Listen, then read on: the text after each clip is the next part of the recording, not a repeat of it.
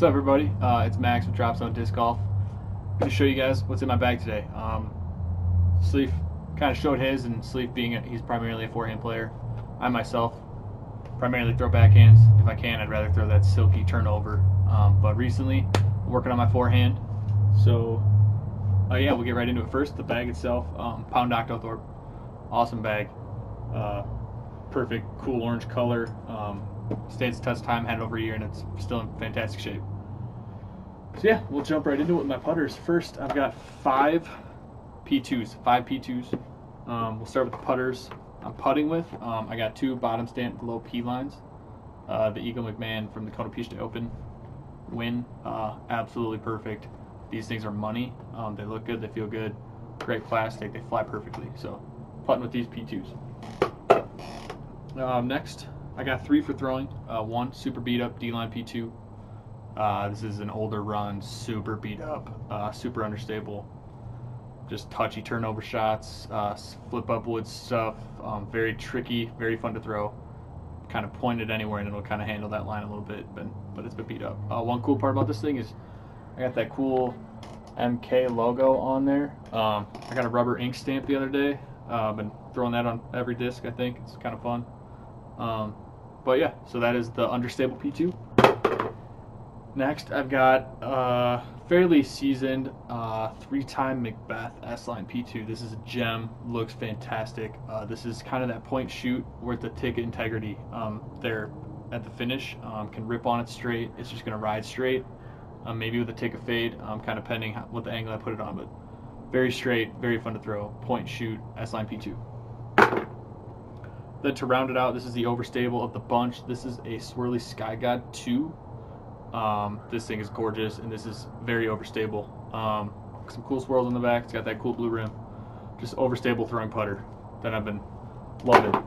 Love that run of P2.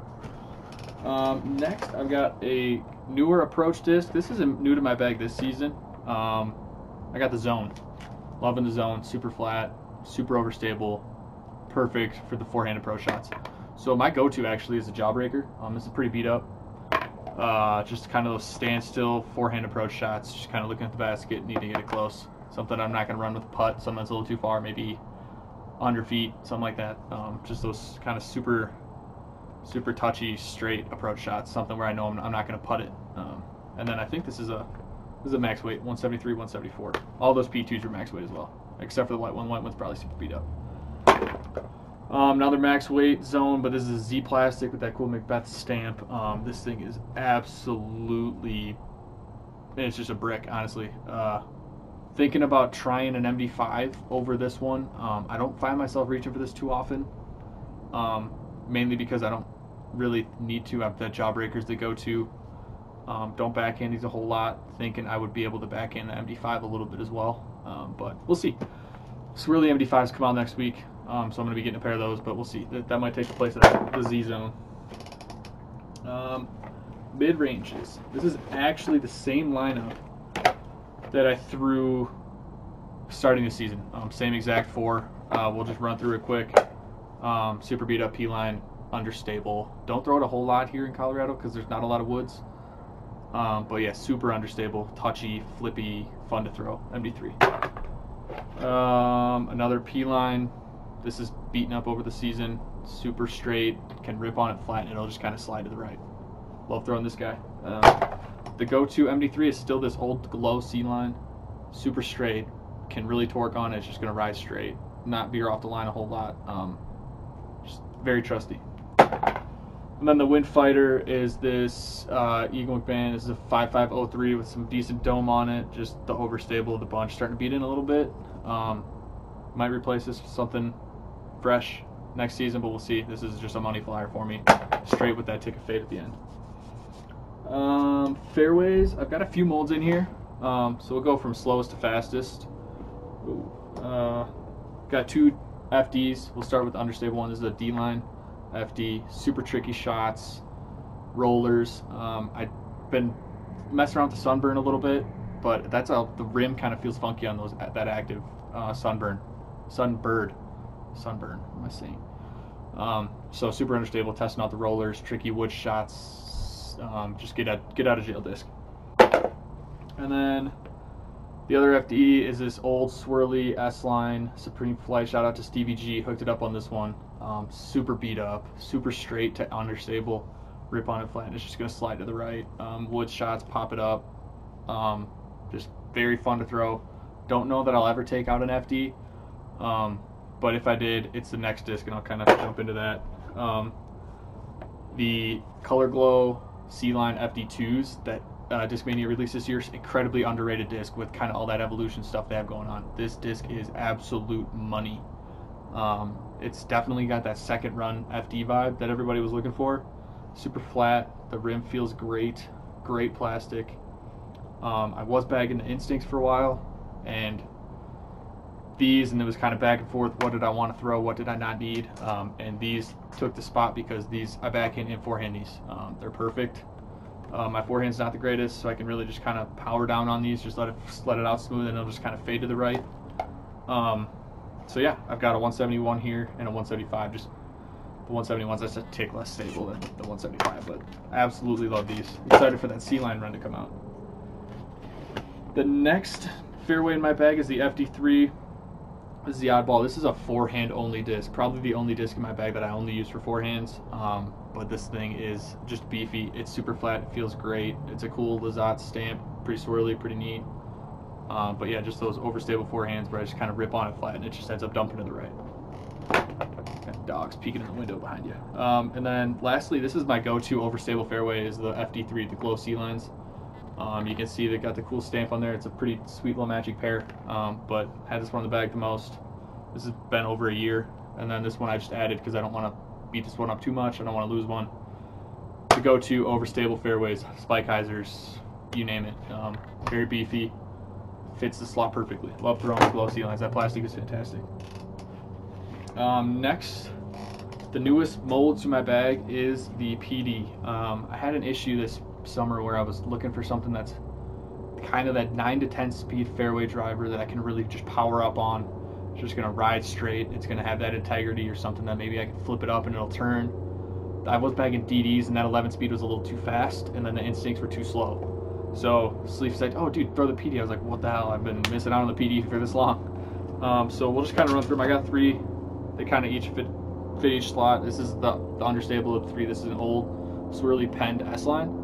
Um, shout out to Sleeve. He got this in our first mystery box we did together back in our sophomore year of college, junior year. But he never got rid of it. And I was like, yo, you still got that? He's like, yep. And he sent it right over. Um, this thing is absolute money. Beat into perfection. Forehands and backhands alike. Just rip on it flat. It's just going to kind of drift to the right and just land flat. Um, forehands, it's also nice too. I can kind of power up on it. It's just going to ride straight and then a longer FD2 essentially. Um, love this old run. This is beat to perfection. So that's the Penn S line. Um, this is the go-to PD though. This is the Lone Howl from Colten Montgomery this season. Um, shout out to the Colten, Colorado guy. Absolutely love this run. Super flat. Plastic feels great. They look good. The stamp's cool. Um, forehand and backhand alike. This is just going to be a tick more stable than that other S line. Um, it just it'll finish to the left. If I kind of throw flat, it'll maybe drift to the right, but it'll always kind of finish back there to the left. But absolutely love this one. Um, also forehanding this, again, longer FD2, but can really get on it and trust that it's going to go straight and just going to finish to the right forehand. Then the overstable to the PDs, this is a third run C line. Uh, shout out to Rob Park, another Colorado guy, hooked me up with this one. He's a disc maniac as well. Uh, just the overstable component to all the PDs I've got in the bag right now. Uh, fits the slot perfectly. It feels good. Um, just great plastic. Love these. Um, didn't want to get into the third run height, but I did. I also picked up a first one from Rob. That's in out of the bag. These uh, the old plastic is just it's awesome. Love the old stuff. Uh, next, we'll jump into distance drivers. I've got two oddballs. I'll run through quick first. Um, this is a Forge Enigma. Great disc. Um, a little squirrely, but for what I'm looking for, this fits the slot right now where it's kind of that rip on it straight and it's going to turn to the right. Um, distance driver, uh, don't throw it a whole lot, just kind of in there so until I get the the DD3s beat in. So, yeah, that is the kind of understable distance driver right now. Don't throw it a whole lot, but do know that I have it if I need it. And then, other side of the spectrum is a fire truck. This thing is a brick. This is a Luster PD2. Shout out to Rolly. Uh, Jacob Rolly hooked me up with this one. super flat, super, super overstable. Can't stress that enough. Didn't have a PD2 in my bag, didn't think I was going to need one. Added this to the bag and then instantly started getting some use. So, yeah, just that overstable Luster C-Line PD2, super flat, very, very overstable. And then kind of in between those is my go-to distance driver right now. These are the this is DD3. I've got a couple cloud breakers, a couple S-line DD3s in here. I'll run through quick. Um, I've got two stock S-line DD3s, both 175. Shout out to Mike Kemp for the dope Star Wars die. You can see it, the Empire um, logo. Just super bomber DD3s. Um, not a whole lot of dome on these, but they do have a really good amount of glide. Um, love throwing these, really rip on them. They'll get that full max distance, um, that max distance S curve you're looking for. Uh, absolutely love these. This plastic feels fantastic. Um, so yeah, these are my go-to distance drivers with kind of no wind or a tailwind because um, they're a little squirrely at the moment. They both beat in pretty well. Might kick that Enigma out here soon. And then next, I've got three cloud breakers. We'll run to the go. These are my go-to distance drivers right now. Um, any type of shot, I can really rip on them kind of on that anhyzer and they'll just kind of push forward, get that max distance, but they're always going to finish to the left. The other two, you never know. Um, but these two will definitely finish to the left. Uh, I got these awesome, sec- these are the second run cloud breakers, the ones that came out right after the prototypes, so these were the ones that sold out right away. Absolutely love these two. That's my favorite run by far at the moment. And then this is another one. This is another second run. Shout out to Sleep Dog again. He hooked me up with this dope Star Wars die. Um, it was an ugly cloud breaker, but the die makes it look insanely cool. Um, but this has a tick more dome than the other ones. And this is the overstable cloud breaker. I will throw this one in the wind. I'll throw the other ones too in a little bit of a headwind, but if, if it's any decent headwind, I'm going to reach for this guy. Super overstable. Um, fits the gap between the PD2 and the DD3s perfectly.